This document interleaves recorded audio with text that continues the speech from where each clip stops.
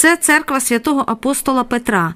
Тут встановили різдвяну шопку, яка складається з двох частин Вифлеєму і Єрусалиму. В тій частині, е, яка називається селище Вифлеєм, де народився Ісус Христос, е, стараємося встановити такі, такі сюжети або ж фігури, які ближчі до сільського середовища. В частині Єрусалим знаходиться також місто. В якому, як ми знаємо по біблійному переказі, не знайшлося місця в заїзді, і тому ми це показали якби також головну подію, яка відіграла роль в цьому народженні Ісуса Христа. У різдвяній шопці понад 20 мініатюр і більше сотні біблійних персонажів, розповів єродиякон Юст Гомза. Тут є ковчег, ангели, які сповістили про народження Спасителя.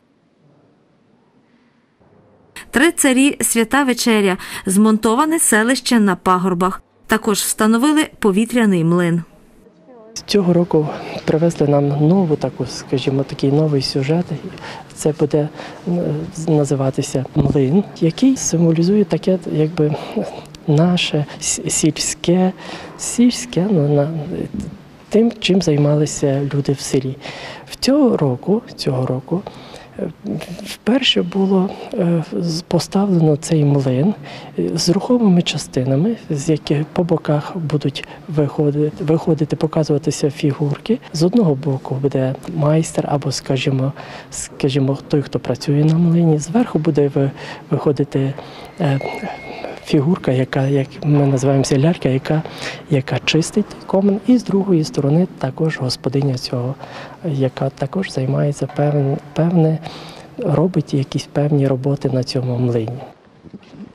Тернополянка Надія Карашівська розповіла, що подивитися на шопку приходить щороку з сином Максимом. Найбільше мені подобається те, що е, все в шопці, всі деталі е, рухаються. Тече водичка, е, рухаються всі макети. Це дуже цікаво, дуже захоплює погляди діток. Приїжджає дуже багато до нас людей. І ми з задоволенням кожне на всі свята і кожної неділі приходимо в цю церкву. Тернополянка Івана Воробець каже, що востаннє різдвяну шопку бачила 5 років назад. На мою думку, тоді шопка була набагато більшою. Тут були живі звірі, було дуже цікаво, так я тоді ще була дитиною.